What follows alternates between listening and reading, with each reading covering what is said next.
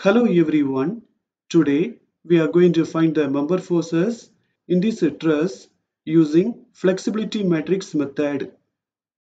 This is a statically indeterminate truss. We need to find a degree of static indeterminacy. To find the internal degree of static indeterminacy, this is the formula.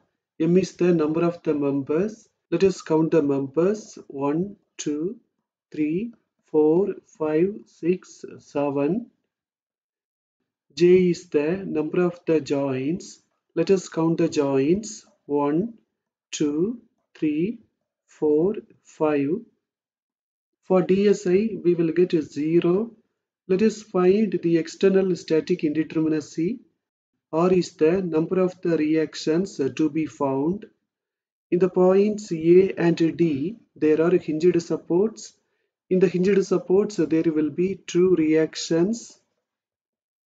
And in the point C, there is a roller support.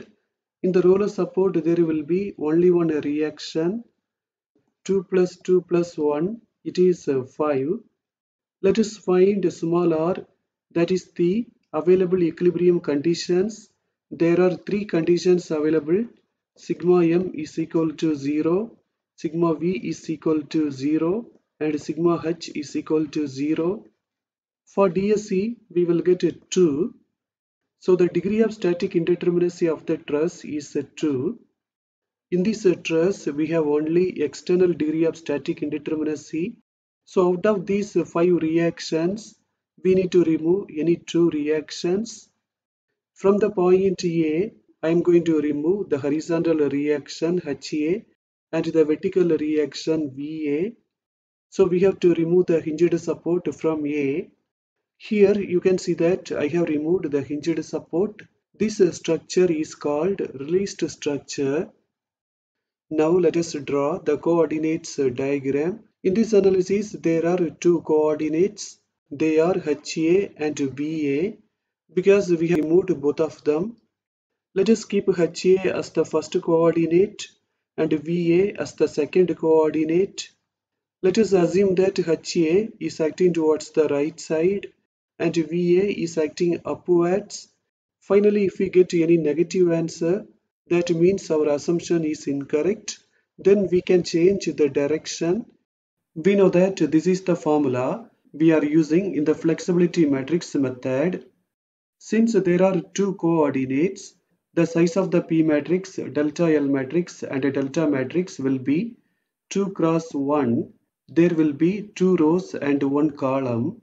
And the size of the flexibility matrix will be 2 cross 2 there will be two rows and two columns. P1 will be HA because that is our first coordinate. P2 will be VA because that is our second coordinate. In this truss, there is no external deflection due to temperature change or due to expansion or shortening of the member. In this case, delta 1 and delta 2 will be 0. Then we have to make this a table in the table, first let us enter all of the members. Then we need to find the values of P, that is the member forces in the released structure. Before finding the member forces, we need to find the reactions. In the point D, there is a hinged support. So there will be two reactions, one vertical and one horizontal. In the point C, there is a roller support. We know that in the roller support, there will be only one reaction here there is only horizontal reaction. Using this rule, we can find VD. VD is acting upwards, so it will be positive. And this is acting downwards, so it will be negative. For VD, we will get 48 kilonewton. No need to do this step. Except VD and 48, there is no other vertical load or vertical reaction. VD should be equal to 48 this load is acting downwards, so VD should be acting upwards. To find HD, let us take a moment about to see. HD is acting in the anti-clockwise direction, so it will be negative, and the distance is 3, so 3 HD. This load is also acting in the anti-clockwise direction, so it is also negative, and the distance is 4. For VD, there is no perpendicular distance, so we should not consider this one. For HD, we will get a negative value. That means the assumed direction is incorrect. HD is actually acting towards the right side. So we need to change the direction. Here I have changed the direction. Except these two, there is no other horizontal load or horizontal reaction. So HD and HC will be having the same value but they will be in the opposite direction. HD is acting towards the right side so HC should be acting towards the left side. Now let us find the member forces. In the joint A, we can apply the rule sigma V is equal to 0. Then we will come to know that the member force AE is 0. Then we can apply the rule sigma H is equal to 0. Then we will know that the member force in AB is also 0. Otherwise, no need to do this. If you know the shortcuts how to find the zero force members, you can easily find them. If you do not know, I have already made a video regarding this. You can see the description and click that link and watch the video. In the joint B, we can apply the rule sigma h is equal to 0. Already we know that the member force AB is 0 then we will come to know that the member force at BC also 0. Now let us take the joint B and find the member force BE. When we take the joint B, no need to take the zero member forces. Let us apply this rule and find FBE. FBE is acting upwards, so it will be positive. This is acting downwards, so it will be negative. For FBE, we will get 48 kilonewton now let us take the joint D. In the joint D, first let us apply this rule. This is acting upwards, so it will be positive. FCD is acting downwards, so it will be negative. For FCD, we will get 48 kilonewton. Now let us apply this rule. This is acting towards the left side, so it will be negative. This is acting towards the right side, so it will be positive. For FDE, we will get 64 kilonewton. Now let us take the joint C. Before finding the member forces, we need to find this angle. Let us keep this angle as theta. Let us take this triangle. In this triangle, let us apply tan theta formula. That will be the opposite side 3 meter upon the adjacent side 4 meter. So theta will be tan inverse 3 upon 4 in this way, we will get 36.87. Let us apply this rule. This is acting towards the left side, so it will be negative. We have to resolve FCE in the horizontal direction. To keep it horizontal, we need this angle. So with FCE, we have to multiply cos 36.87. Since it is acting towards the left side, it will be negative. For FCE, we will get minus 80 kilonewton FCD we already calculated so no need to do that again. Let us apply the values of P. Now we need to find the values of K1. Our first coordinate is HA. To find the values of K1 we have to remove all of the loads from the truss and apply unit load in the direction of HA. When we do this we should not take VA also. Here you can see that I have removed all of the loads from the truss and I have applied unit load in the direction of HA. We have to find these three reactions. Except VD, there is no vertical load or vertical reaction. So VD will be 0 or we can apply this rule. Using this rule for VD, we will get 0. Using this rule, we can find HD. HD is acting in the anticlockwise uh, direction so it will be negative and the distance is 3. So 3 HD. For this unit load there is no perpendicular distance and there is nothing else. So HD will be 0 except these two there is no other horizontal load or horizontal reaction. So HA and HC should be having the same value 1 and both of them should be acting in the opposite direction Otherwise, we can use this rule and find HC. In this truss, except the members AB and BC, all of the other members are zero force members. If you want to know how to find zero force members very easily, as I said earlier, There is a link for the video in the description. You can click the link and watch the video. Let us take the joint A and to find the member force in AB. Both of these are acting towards the right side, so both of them will be positive. For FAB, we will get to minus 1. Now let us take the joint B and to find the member force in BC.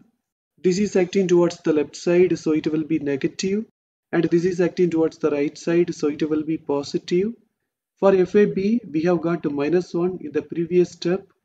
Minus into minus, it will become positive. For FBC, we will get minus 1. Let us enter the values of K1. Now we are going to find the values of K2. To find the values of K2, we have to remove all of the loads and to apply unit load in the direction of VA. Also, we should not consider HA. You can see that I have removed all of the loads and I have applied unit load in the direction of VA. VA is acting upwards, so VD should be acting downwards, but both of them should be having the same value, unity. Let us take moment about C and find HD. This unit load is acting in the clockwise direction, so it will be positive and the distance is 8.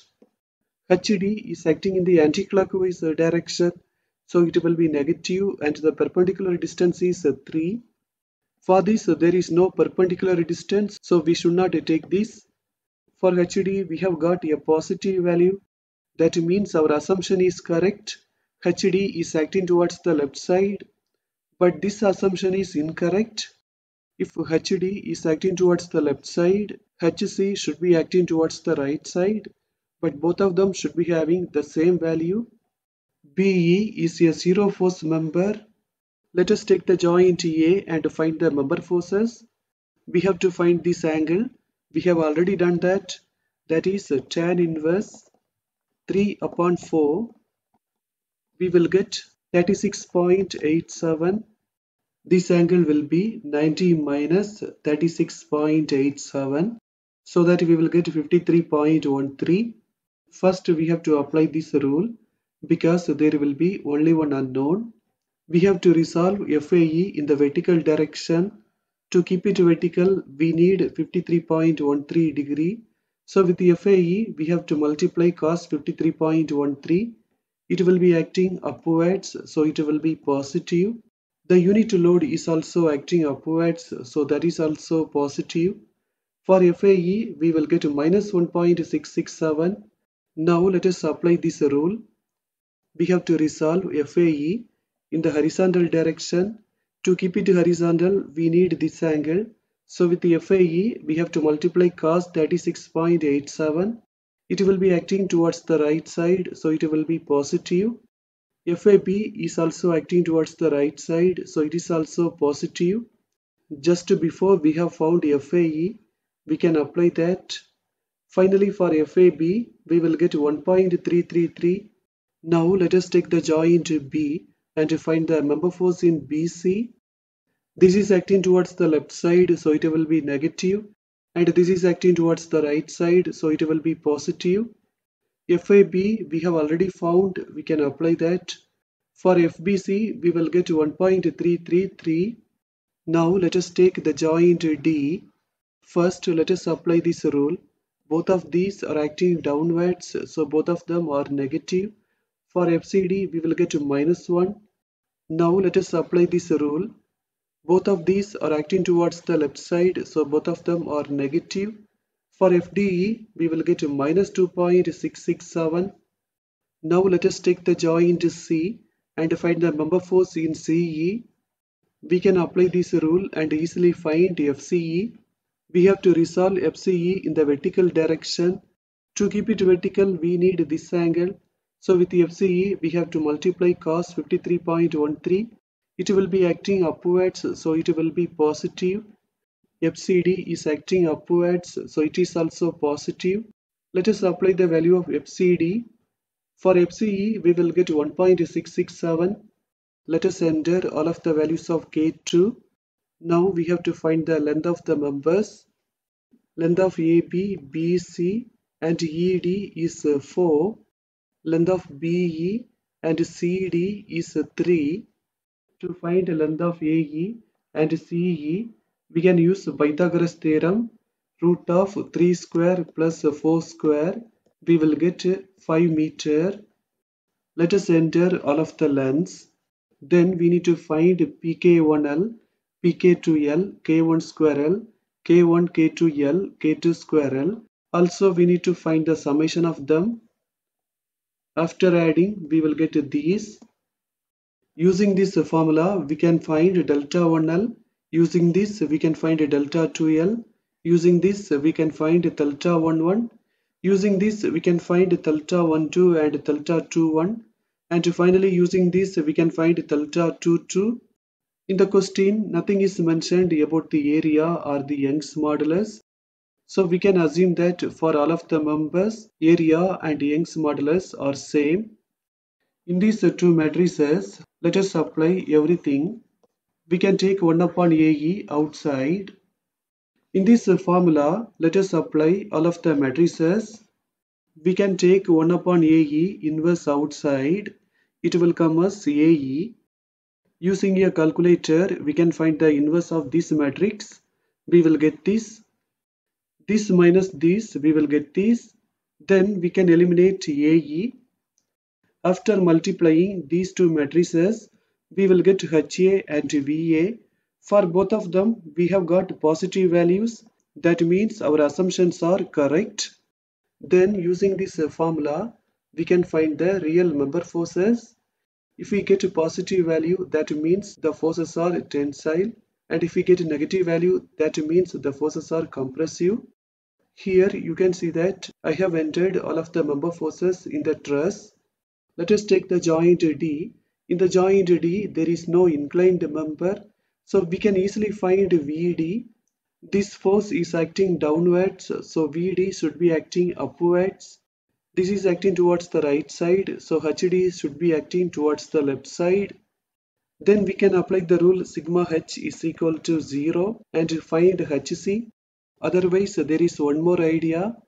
This angle is 36.87 HD will be equal to 37.97 into cos 36.87 we will get 30.37 now we are going to end this session. Thank you for watching this video